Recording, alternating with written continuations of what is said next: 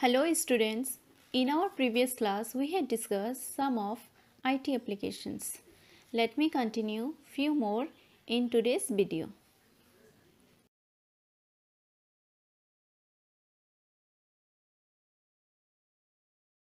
IT in entertainment. Entertainment is something that holds the attention and interest of an audience or gives pleasure and delight it had a major impact in the entertainment industry. We can download movies, games from the internet. We can even chat with our friends. We can listen songs, etc.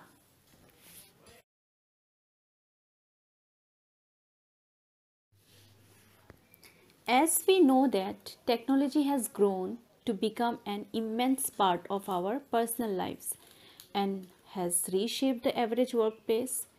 People are interested in getting the most current technology, whether it was the newest smartphone or the latest car model.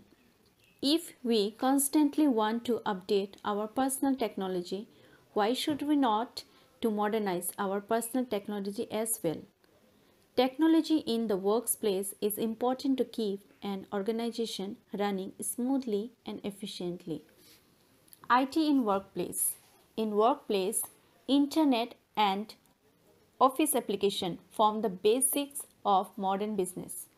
Computers and computers applications are used to perform office work effectively.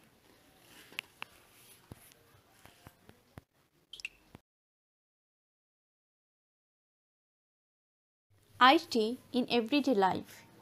In home, we are using washing machine, microwave oven and many other products using which have embedded software. Also we can store all the information about our important works, appointments, schedule and list of contacts in a computer.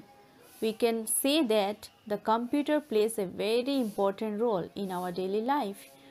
We cannot imagine the world without computer.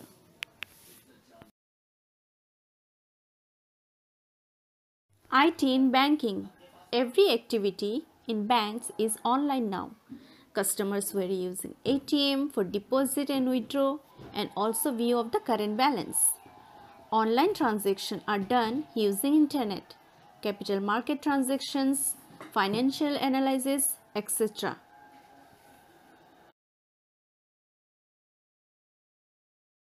In our next class, we will discuss few more IT applications.